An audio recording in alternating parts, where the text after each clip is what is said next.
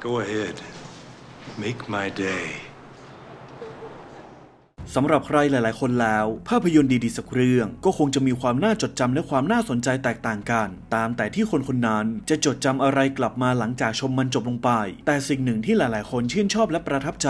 นอกเหนือจากการแสดงหรือความหมายดี ๆ ของเรื่องราว ก็คงจะเป็นประโยคเด็ดในเรื่อง ที่มีทั้งแบบลึกซึ้งกินใจ ตลก เศร้า สะเทือนใจที่นักแสดงเอ่ยมันออกมา เพราะมันคือส่วนสำคัญในเรื่อง ที่จะทำให้เราสามารถจดจำโมเมนต์สำคัญสำคัญเหล่านั้นได้ แถมหลาย ๆสำนักก็ยังมีการจัดอันดับประโยคเหล่านี้ออกมาให้ผู้ชมได้โหวตกัน หรือไม่ก็เป็นทางสำนักนั้นๆจัดเอง ว่าประโยคไหนมันจะตราตรึงใจผู้คนได้บ้าง ฉะนั้นในวันนี้เราเลยอยากจะมานำเสนอ การจัดอันดับประโยคจากภาพยนตร์ที่ดีที่สุดตลอดการ 100 อันดับ ซึ่งนี่จะเป็นการอ้างอิงข้อมูล จากสถาบันภาพยนตร์อเมริกัน หรือ AFI โดยเราก็ต้องขอเตือนกันเอาไว้ก่อนเลยว่าคอนเทนต์นี้ อาจจะมีการเปิดเผยเนื้อหาส่วนสำคัญของภาพยนตร์ออกมา หากใครที่ยังไม่เคยได้รับชมและยังไม่อยากเสียอรรถรสก็ขอให้ข้ามคอนเทนต์นี้กันไปก่อนนะครับ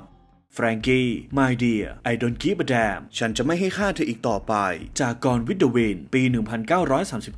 1939 ประโยคนี้เป็นประโยคที่ตัวละครเรตต์บัตเลอร์ที่นำแสดงโดยคลาร์กเกเบิลนักแสดงขวัญใจชาวอเมริกันในยุคนั้นเอ่ยออกมาในช่วงท้ายๆของเรื่องพอดี ซึ่งเขาก็ได้เอ่ยมันให้กับนางเอกสาวสวยอย่างสกาเลตโอฮาร่าที่นำแสดงโดยวิเวียนลีฟัง ว่าเขาจะไม่แยแสหญิงสาวที่มีนิสัยเลวร้ายแบบนี้อีกแล้ว โดย Gone with the Wind จะเป็นภาพยนตร์โรแมนติกดราม่าที่เล่าเรื่องราวของหญิงสาวผู้สูงศักดิ์อย่างสกาเลตโอฮาร่าที่แม้ว่าในอดีตเธอจะรวยมากแค่ไหน แต่เมื่อมีเหตุการณ์สงครามกลางเมืองอุบัติขึ้นมา โชคชะตาก็ทำให้เธอกลายเป็นดอกฟ้าตกสวรรค์และต้องมาเกี่ยวโยงกับความสัมพันธ์ที่อาจจะทำให้เธอกลับมายิ่งใหญ่ได้อีกครั้ง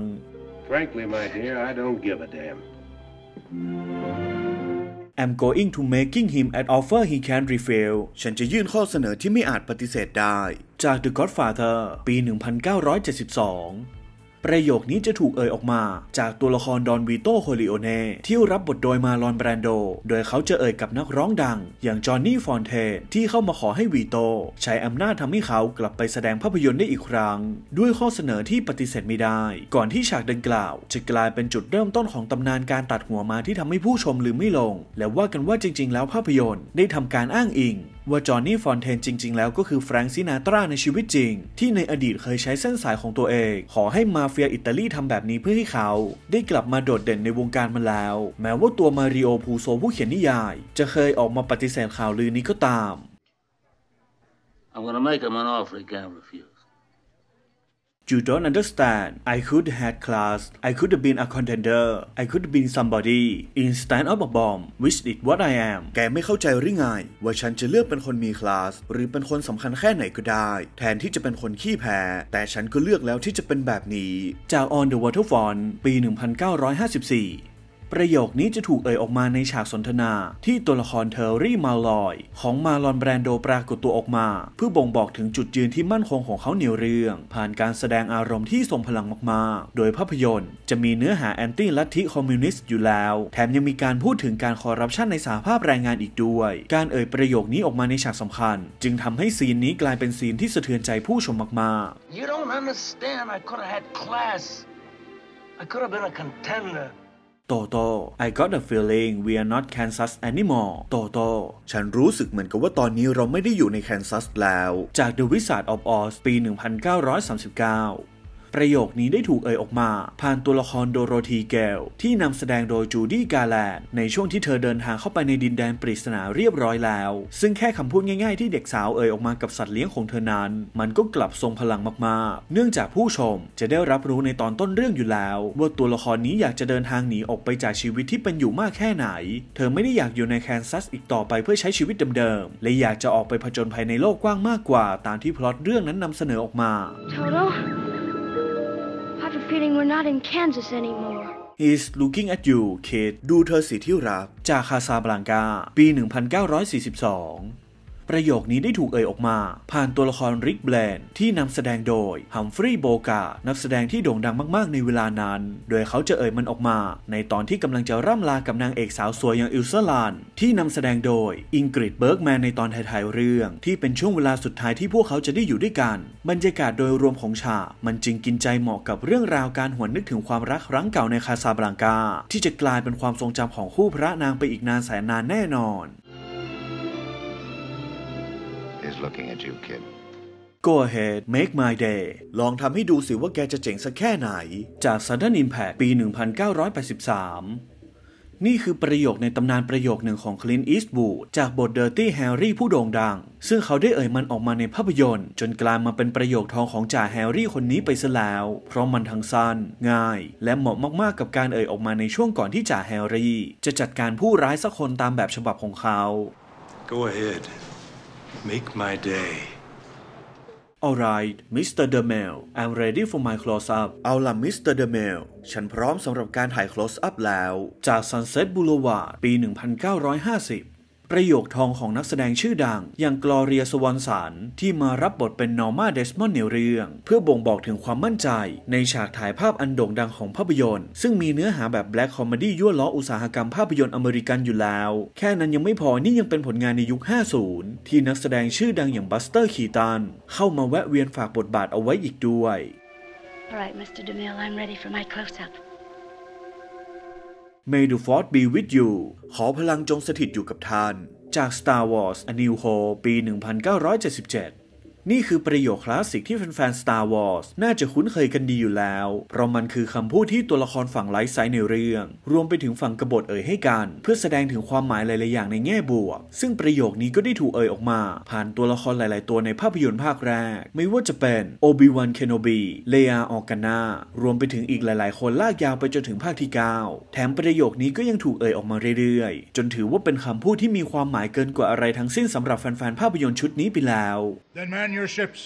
and may the force be with you. Fasten your seatbelts It's going to be a bumpy night ระวังตัวไว้ เพราะสิ่งที่เรากำลังจะเจอในคืนนี้มันไม่ใช่เรื่องง่ายแน่ๆ จาก All About Eve ปี 1950 ประโยคนี้จะถูกเอ่ยออกมาจากเบ็ตตี้เดวิสที่รับบทโดยมาโกแชนนิงเพื่อส่งสัญญาณไปถึงเพื่อนๆของเธอว่าในค่ำคืนนี้มันจะมีอะไรพิเศษพิเศษรอพวกเธออยู่แน่นอน โดยมันจะเป็นประโยคง่ายๆ ที่มีการเล่นคำด้วยแบบเจ็บๆ เหมาะกับภาพยนตร์ดราม่าคอมเมดี้ที่พูดถึงนักแสดงสาวในวัยใกล้ฝั่ง ที่ต้องเจอกับปัญหาชีวิตครั้งใหญ่แบบสุดๆ Fasten your seatbelts. It's going to be a bumpy night. You talking to me แกกำลังพูดกับฉันเหรอ จาก Taxi Driver ปี 1976 ประโยคในตำนานของโรเบิร์ต เดนิโร ที่จู่ๆเขาก็ด้นสดมันออกมาในตอนที่แสดงเป็นทราวิสบิกเคิลหนุ่มคนขับแท็กซี่จิตป่วน ที่วางแผนจะทำเรื่องแปลกๆในนิวยอร์ก โดยฉากนี้โรเบิร์ต เดนิโร จะด้นสดออกมาในตอนที่ตัวละครกำลังยืนพูดหน้ากระจก ทั้งๆที่ในความเป็นจริง มันไม่มีไดอะล็อกนี้ในบท ประโยคนี้จึงกลายมาเป็นตำนานของเดนิโรที่แฟนๆชื่นชอบทันที และมันก็ยังถูกพูดถึงมาจนถึงทุกวันนี้แบบไม่หยุดเลยด้วยซ้ำ What we got here is failure to communicate ที่เราต้องมาทำแบบนี้เป็นเพราะว่าพวกแกไม่ฟังฉันเอง จากคูแฮลลูปี 1967นี่คือประโยคสุดเจ็บของตัวละครลุคแจ็คสันที่รับบทโดยพอลนิวแมนในเรื่อง โดยเขาจะเอ่ยมันออกมากับพัสดีเรือนจำในช่วงท้ายเรื่องที่เป็นฉากไคลายแม็กซ์สำคัญ เพื่อสื่อถึงความล้มเหลวของระบบสังคมในเรือนจำและโลกภายนอก โดยภาพยนตร์จะพูดถึงการตัดสินโทษที่ไม่สมเหตุสมผลในยุคสมัยนั้น และสะท้อนค่านิยมของกฎเกณฑ์ในสังคมออกมา What we got here is a failure to communicate.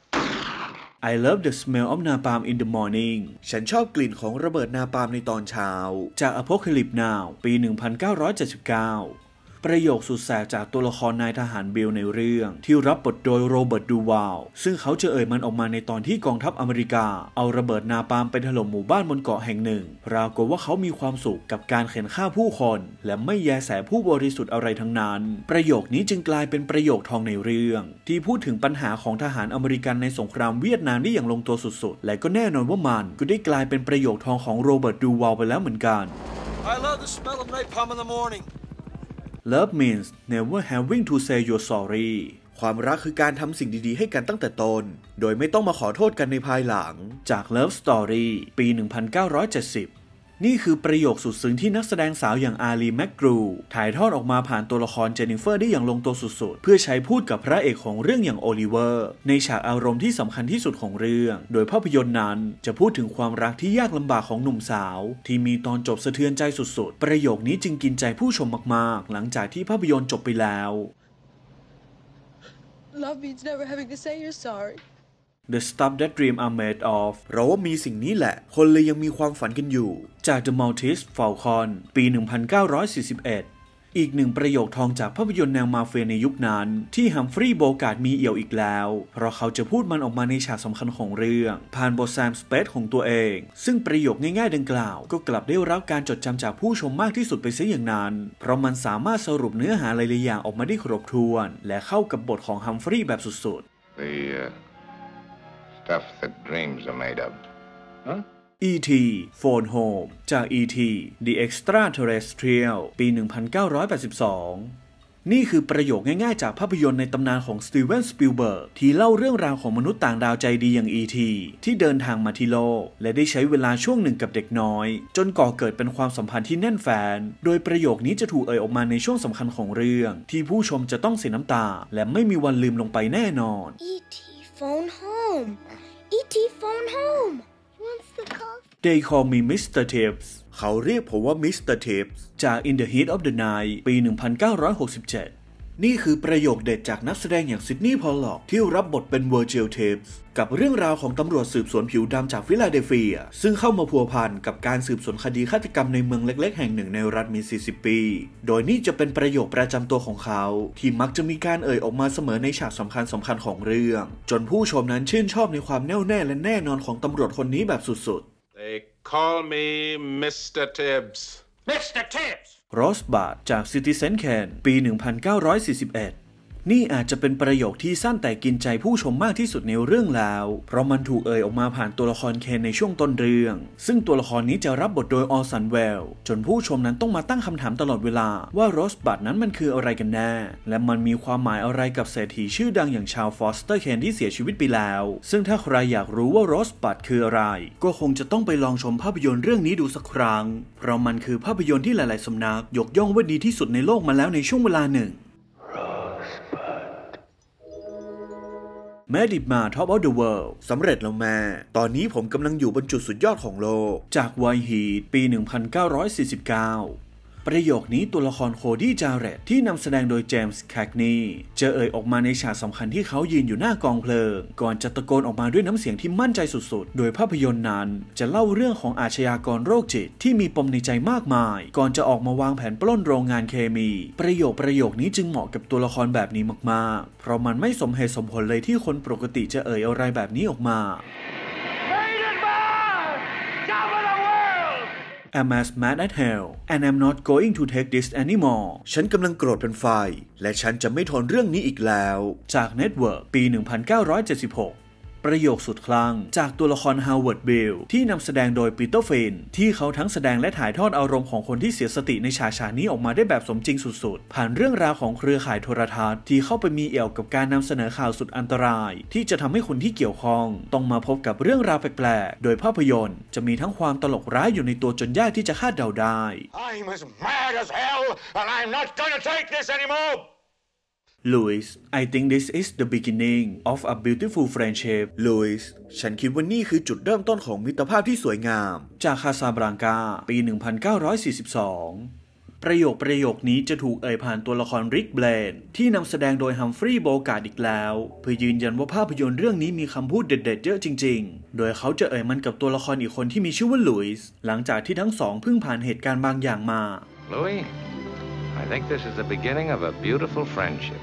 A census taker once tried to test me. I ate his river with some fava beans and a nice candy. เคยมีเจ้าหน้าที่สำรวจพยายามลองดีกับฉัน ฉันเลยกินตับของมันกับถั่วฟาวา และวายเคียนตี้ชั้นดี จาก The Silence of the Lambs ปี 1991 นี่คือประโยคในตำนานที่แอนโทนี ฮอปสกิน ฝากมันเอาไว้กับบทบาทฮันนิบาล เล็กเตอร์ ในฉากที่เขาถูกจับไปขังในคุก ก่อนที่เขาจะเอ่ยคำพูดในเชิงสยองขวัญตามสไตล์มนุษย์กินคนอัจฉริยะของเขาออกมา ซึ่งนอกจากประโยคนี้มันจะน่ากลัวสุดๆแล้ว ฉากที่ตามหลังประโยคนี้มา หลายๆ คนก็คงจะรู้กันดี ว่ามันน่ากลัวกว่ากันเยอะเลยทีเดียว A census taker once tried to test me.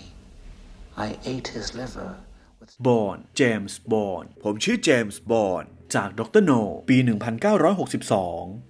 นี่คือประโยคที่ธรรมดาและง่ายที่สุดจากฌอนคอนเนอรีที่เข้ามารับบทเป็นเจมส์บอนด์คนแรก ซึ่งเขาจะใช้ประโยคนี้แนะนำตัว และบอกชื่อของเขาเวลาที่โดนถามแบบง่ายๆ แต่ด้วย character ที่โคตรเท่ของตัวละครนี้นั้น มันก็ทำให้ประโยคดังกล่าวทรงพลังจนหาอะไรมาเทียบไม่ได้ และกลายเป็นคำพูดที่คลาสสิกตลอดการทันที Bond.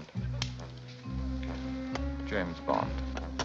There's no place like home ไม่มีที่ไหนเหมือนบ้าน จาก The Wizard of Oz ปี 1939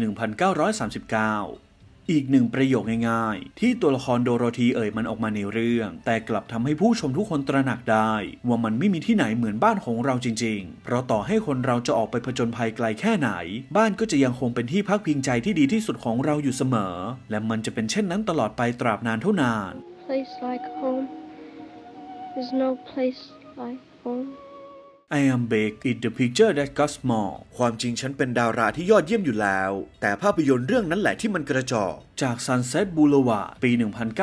1950มากันอีกรอบกับประโยคทองของนักแสดงชื่อดังอย่าง Gloria Swanson ที่มารับบทเป็น Norma Desmond ในเรื่อง โดยคราวนี้เธอจะแสดงความมั่นใจออกมาอีกครั้งในฉากสำคัญ เพื่อบ่งบอกว่าอีโก้ของเธอนั้นมันสูงจริง ๆ และคงจะไม่มีอะไรมาหยุดเธอได้แล้ว นี่จึงเป็นอีกฉากที่คลาสสิกมากๆในเรื่องไปโดยปริยาย I am big. It's the pictures that got small. Show me the money แสดงให้ดูหน่อยว่าแกเจ๋งแค่ไหน จากเจอรี่แม็กควายปี 1996 นี่คือประโยคทองที่ตัวละครเจอรี่แม็กควายของทอมครูซเอ่ยออกมาในเรื่อง กับคำพูดง่ายๆ แต่เต็มไปด้วยอารมณ์ที่เต็มเปี่ยมแบบนี้ในฉาก ซึ่งใครที่ดูภาพยนตร์จบลงไปแล้ว ก็คงจะรู้ชะตากรรมของตัวเอกกันดี ว่ามันพลิกผันไปมาขนาดไหน แถมนี่ยังเป็นหนึ่งในผลงานของทอมครูซที่ดีมากๆเรื่องหนึ่งอีกด้วย Jerry, you better yell! Show me the money! โอเคก็จบลงไปแล้วครับ กับ 100 ประโยคจากภาพยนตร์ที่ดีที่สุดตลอดการจาก AFI พาร์ทที่ 1 ซึ่งก็ต้องบอกเลยวันนี้ เป็นแค่ 25 อันดับแรกเท่านั้น และยังมีอีก 75 อันดับที่น่าสนใจรอเราอยู่ ที่รับประกันได้เลยว่าแต่ละประโยคก็ล้วนสำคัญและมีความหมายไม่แพ้กันแน่นอน และเพื่อนๆล่ะครับ มีรายละเอียดหรือข้อมูลอะไรที่น่าสนใจ เกี่ยวกับประโยคจากภาพยนตร์ที่ดีที่สุดตลอดการจุดไหน นอกเหนือจากที่พวกเรานำเสนอไป ก็สามารถคอมเมนต์มาคุยกันได้ พวกเราจะเข้าไปอ่านทุกอมเมนต์เลย ก่อนจากกันก็อย่าลืม กดแชร์ กดไลค์ กด Subscribe และกดกระดิ่งเอาไว้ เพื่อจะได้เป็นกำลังใจ และจะได้ไม่พลาดคลิปใหม่ๆจากพวกเรา โดยถ้าหาข้อมูลที่พวกเราเรียบเรียงมา มีความผิดพลาดประการใดก็ขออภัยมาณที่นี้ด้วยสำหรับวันนี้ไปแล้วครับ สวัสดีครับ